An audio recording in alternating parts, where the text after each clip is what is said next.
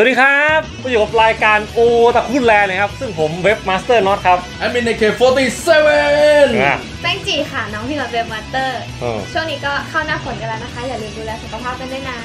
โอ้เข้าหน้าฝนนี่ก็ไม่น่าต่อกันพลาเลยนะอะเพราะมันทำไมพ่นสียากอะไรอย่างเงี้ยอ๋อเพราะงั้นตอนนี้เราก็จะมาแข่ง Hand Spinner กันดีกเฮ้ยว่าเจ๋งเจ๋งเจ๋งไม่เอาไม่อยากไหนบอกไหนกันเล่นค่ะเอ้าแล้วต่อกันพลาเหรออยากบอกกันค่ะจะต่อกันพลาใช่ไหมใช่ ต่อไหมอืมให้ต่อไหมก็ได้นะ เพราะว่ารับปากน้องไว้คราวก่อนว่าน้องอยากต่อกันพลาแต่งตามงานใจกัน้องสาวหน่อยแล้วกันอ่าตามใจน้องหน่อยนะแต่ทีนี้มันมีโจทย์อยู่นะฮะจะต่อธรรมดามันก็ไม่ใช่โอตาคุมีโจทย์ด้วยเหรอมีโจทย์ด้วยมีโจทย์จากทางบ้าน request มาครับผมผมมีทางบ้าน request มาด้วยใช่อันนี้เป็น challenge จากทางบ้านเลยนะเออคุณขอมาเราก็จัดให้ครับ แต่เขาจะขอในเรื่องอะไรนั้น ไปดูคลิปวิดีโอจากทางบ้านกันเลยครับผม ไปดูเลยเร็วครับร้าน Arcadia นะครับ ก็วันนี้มีโจทย์จะมาให้ทีมงานของ Otaku Land ครับผมอ่าเอาหุ่น 5 ตัวมายำรวมกันนะครับ อยากจะถามว่าทีมงาน Otaku Land ทำได้หรือเปล่าๆก็เป็นไงบ้างครับกับโจทย์ที่ได้รับจากทางร้าน Arcadia ตึกเมกาสะพานเหล็กนะครับชั้นหนึ่งตึกติดแก้วนะฮะโจทย์เขาบอกว่ามีกันพาเขาอยากได้กันพาห้าตัวเป็นตัวเดียวอ่าอืมทำชื่อ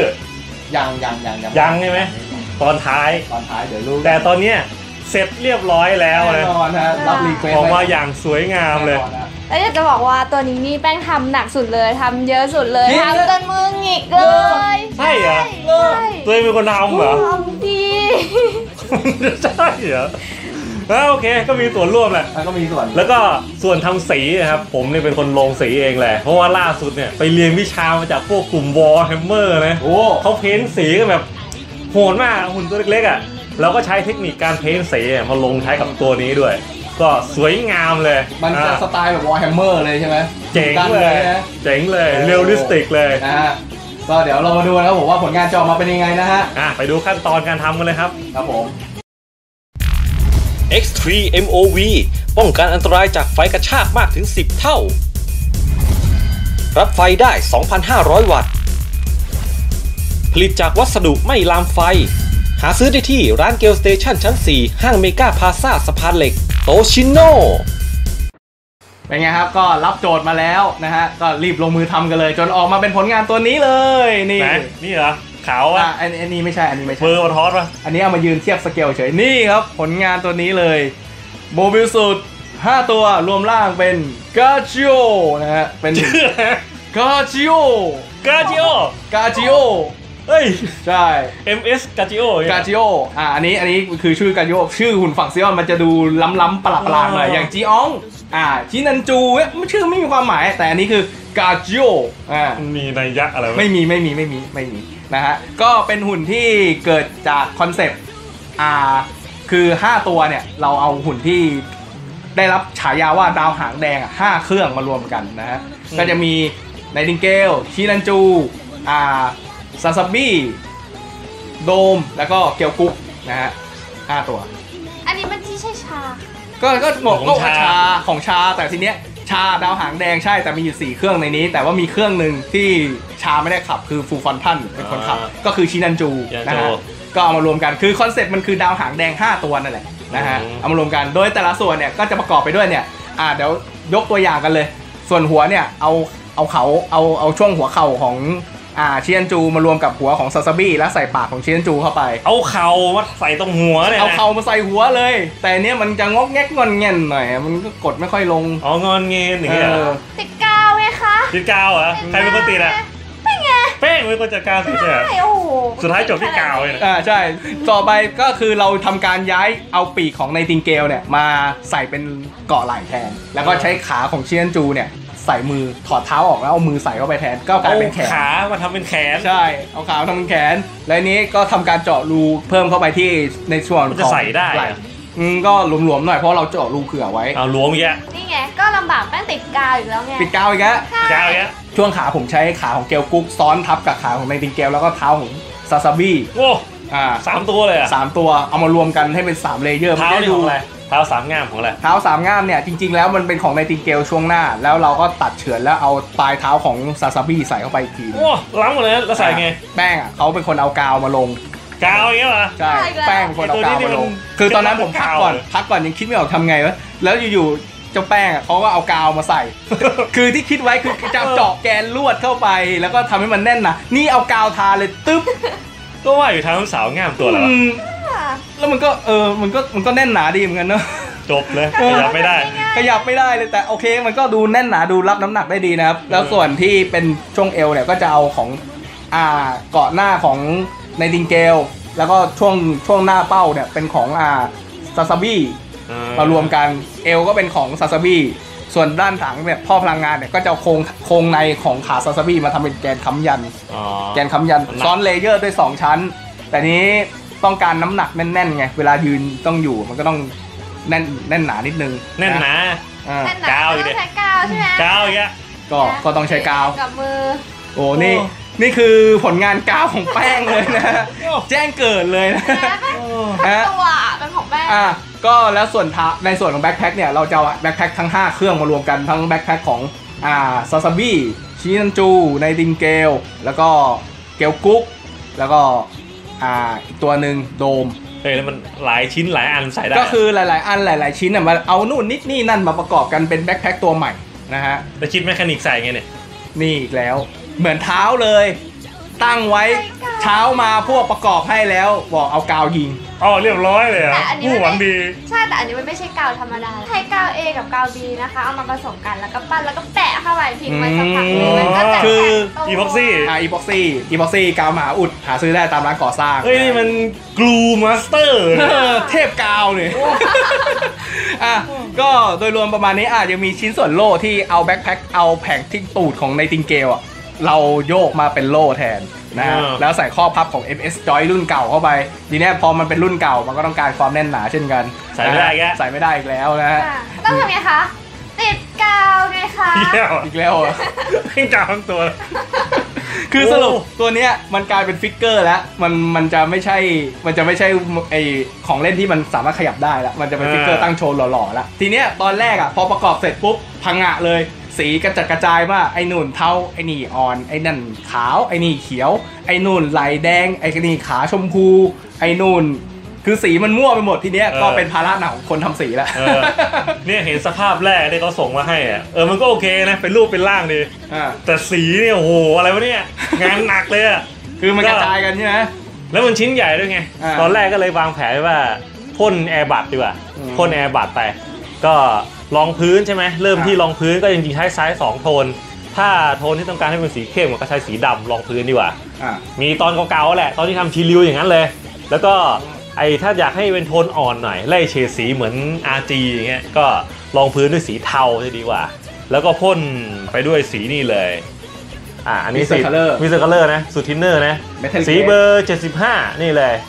metallic red นะอืม พ่นทับไปที่รองพื้นดำกับรองพื้นเทาได้เลย ออกเป็นแดงอย่างนี้เลย มันจะออกเป็นโอ้เม็ดเม็ดเขาบอกว่ารองพื้นดำนี่พ่นทับหลายรอบเลยดิอ่าใช่ใช่ โอ้เห็นว่าหมดสีไปตัวนี้มันจะมีโอ้นี่หมดไปหลายขวดนะ ตัวนี้คุณสมบัติคือมันจะเป็นสีที่มันมีความใสเหมือนกันอืมก็พ่นอยู่เยอะเหมือนกันนะ แล้วก็สีเงินอันนี้ใช้ airbrush เหมือนกัน ก็พ่นไปอันนี้ super silver ใช้บ่อยอยู่แล้วอ่าเบอร์159อันนี้ใช้ดีเลย ถ้าสีเงินนะ สีเงินแบบแววๆอะใช้ตัวนี้ได้เลยอืมแต่พ่นไปสักพักก็มาเจอปัญหาอีก ฝนตก ช่วงเนี้ยฝนตก เออ เซ็งเลยไม่รู้ทำไง โชคดีก็คือไปคุยกับพวกวอลแฮมเมอร์พอดี คุณฝนทิตินันนะเพนเตอร์เนี่ยเขาสอนมา ไปเรียนอะไรเข้ามา นี่เลที่ยคนที่ออกรายการคูสใช่คุณสตาร์แหละ อ๋อ คนสวยคนสวย โอ้สวยจริงสวยจริงก็เลยไปด้ได้ลองใช้สีสูตรใหม่ อืม สูตรน้ำนะไม่ได้ใช้ทินเนอร์แล้วใช่ใช้สูตรเดิมนะ โอ้โหเหม็นทั้งบ้าน โอ้วะผมไม่เห็นรู้เลยโอ้โหชื่นใจ โอ้ทินยเนอร์นี่มันต้องสูตรนี้นี่ เดี๋ยวลองดูก็ได้โอ้ไม่มีกินนี่ไม่มีกินไม่มีกิน เคยได้ยินเหมือนกันว่าคุณวินวิชิรุยเอมองเนี่ยแชมป์กันพาบิลเดอร์ก็ใช้สีสูตรน้ำสีอะประมาณเนี้ยสีสไตล์นี้เหมือนกัน ก็ถ้ายี่ห้อฮิตก็จะมีเซเลวาเลโจอ่าหนึ่งอัน แล้วก็ถ้าตัวที่เป็นออฟฟิเชียลของ Warhammer เลยก็จะเป็นยี่ห้อซิ t าเดล Citadel เนี่ยนะโอเคลงสีเบจเป็นกรอบสีดำแล้วก็สีแดงเสร็จแล้วก็มันก็ยังดูจืดๆอะอ่าเพราะว่ามันถ้าตามที่คิดไว้เนี่ยนี่มันคือหุ่นสงครามที่ผ่านอ่าสงครามมาใช่ไหมอย่างหลายปียาวนาน ห้าตัวที่ใช้งานหนักอะไรเงี้ยนะ อ่าก็เลยต้องมีการทำ weathering เพิ่มเติม อ่า ซึ่ง weathering นี่ก็สาย Warhammer เขาก็ถนัดอยู่แล้วไง อืม ก็ไปผูกเกณฑ์เขามาอยู่ คือไปลอกวิชาเขามาเลยวัน วางกันวันฮะวันเดียววัน โอ้ยโมวันเดียวเจ๋งอะแล้วก็มาลองทำทำๆดู แล้วก็ปรึกษาแหละแต่คือมี study เพิ่ม อ่า ปรึกษาอาจารย์ปรึกษาอาจารย์ได้เรื่อยอ่าๆกลุ่มโอ Warhammer ที่เขาดีมากเลยโอ้ให้คำแนะนำได้ดีมาก ก็ลงสีใช่ไหม ก็จริงๆเทคนิคก็ไม่ได้มีอะไรมากครับ ก็อัปเดตไปที่บทความ Gunpla Tip 9แล้วเนี่ยไอ้ตัวโบทอสนี่เลย อยากให้เป็นสีสนิม อยากให้เป็นสีออกใช้งานโดนขูดโดนเฉียวชนอะไรเงี้ย ก็คือคร่าวๆอะมันจะเรียกว่าเทคนิค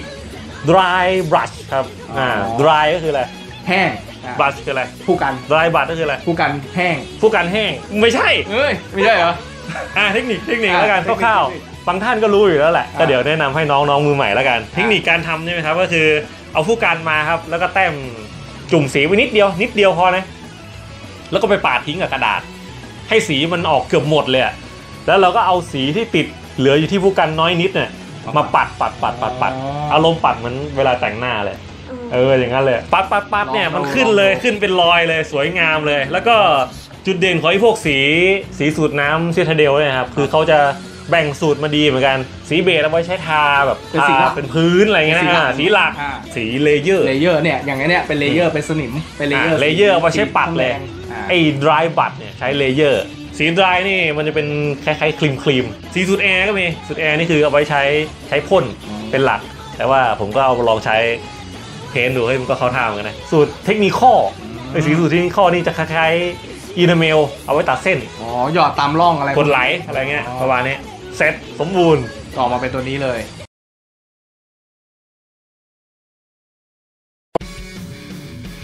ในช่วงปลายศักราช UC หลังจากเหตุการณ์ที่โมบิลสูตรรีเบิร์ g กันดั้มได้ออกอาละวาดและได้สงบลงด้วยฝีมือของเด็กสาวคนหนึ่ง ในเหตุการณ์นั้นเองก็ได้ถูกสังเกตการณ์โดยชาวดาววาจิเนล สิ่งมีชีวิตผู้ทรงภูมิปัญญาจากนอกระบบสุริยะ ที่จับสัญญาณถ่ายทอดสดจากเหตุการณ์วุ่นวายครั้งนั้น นั่นทำให้พวกเขาสนใจในพฤติกรรมของมนุษย์โลก และศึกษาประวัติศาสตร์ของสงครามที่ดำเนินมาอย่างต่อเนื่องและยาวนาน ชาวดาวจิเนลมีความสนใจใน Mobile Suit สีแดงที่โดดเด่นในสนามรบเป็นอย่างมาก จึงได้ออกค้นหาและเก็บกู้ซากชิ้นส่วนของ Mobile Suit 5เครื่อง ประกอบด้วย Rick Dom Gelgoog Sazabi Sinanju และ Nightingale หุ่นที่เคยได้รับฉายาว่าดาวหางสีแดง พวกเขาได้นำมันมาประกอบใหม่ขึ้นเป็น Mobile Suit ขนาดยักษ์ โดยตั้งชื่อให้ใหม่ว่า MSN 010 g a g i o หุ่นรบตัวนี้ได้รวบรวมเอาจุดเด่นของ Mobile Suit ทั้ง 5 เครื่องมารวมกันทำให้มีประสิทธิภาพที่สูงกว่า Mobile Suit ทั่วไปถึง 30 เท่า ตัวเครื่องติดตั้งโล่ขนาดยักษ์ที่สามารถต่อต้านอาวุธ beam ได้ทุกประเภท และยังมีปืนกล beam machine กำลังสูง และในตัวยังติดตั้งอาวุธปืนใหญ่กาจิโอโดปืนใหญ่มวลสารความเร็วสูง ที่มีความรุนแรงระดับเลเซอร์ colony นอกจากนี้ยังมีระบบ AI ที่เรียนรู้รูปแบบการต่อสู้ในอดีตไว้ ที่จะช่วยนักบินในการบังคับกาจิโอได้อย่างเต็มประสิทธิภาพ หลังจากสร้างหุ่นรบตัวนี้เสร็จแล้ว ชาวดาวเวอร์จิเนลวางแผนที่จะบุกโลก เพื่อต้องการที่จะทดสอบประสิทธิภาพของกาจิโอในการต่อสู้กับรีเบิร์ g กันดั้มให้รู้ผลแพ้ชนะกันต่อไป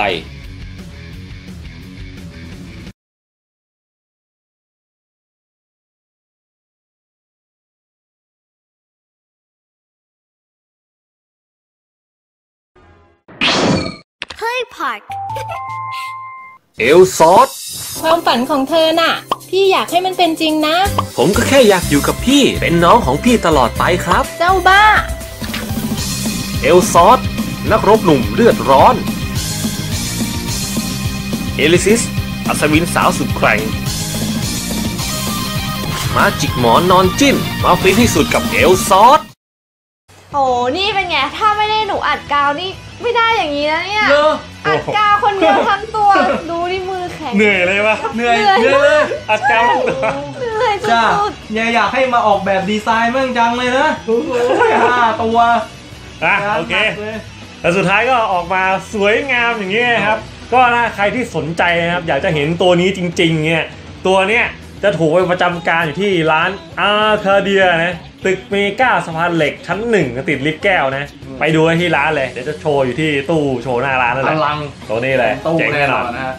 สำหรับกิจกรรมกันพาที่เราจะแจกก็ยังมีเหมือนเดิมนะครับเพียงแค่แจกอีกแล้วเหรอแจกแล้วป๋านะฮะร้านอาคาเดียร้านกระเดียจ้ะก็ขอขอบคุณร้านอาคาเดียมาณที่นี้ด้วยนะฮะก็กติกาการร่วมสนุกของเราครับก็ผมคิดไว้ว่าไอ้ตัวเนี้ยมันมันเกิดจากโมบิสูตร5ตัวมารวมเป็นตัวเนี้ย อยากให้เพื่อนๆทางบ้านคิด Mobile Suit 5ตัวที่จะล้มมันได้เนี่ยมีอะไรบ้างเอาตัวไหนมารวมร่างกันเนี่ยใช่ห้าตัวรวมร่างกันอะบางบางคนชอบ Freedom เงี้ยก็เอา Freedom Strike Freedom Justice ไอ Infinite Justice รวมร่างไอ Aegis ห้าตัวเอามารวมร่างกันสู้กันเนี่ยเพื่อนๆมี Gunpla ตัวไหนหรือกันดั้มตัวไหน Mobile Suit ตัวไหนเนี่ยที่เพื่อนๆอยู่ในใจหรือชื่นชอบเนี่ยมาคอมเมนต์ข้างล่างได้5ตัวเอามาล้มไอเนี่ยอะประมาณถ้าใครคอมเมนต์ข้างล่างก็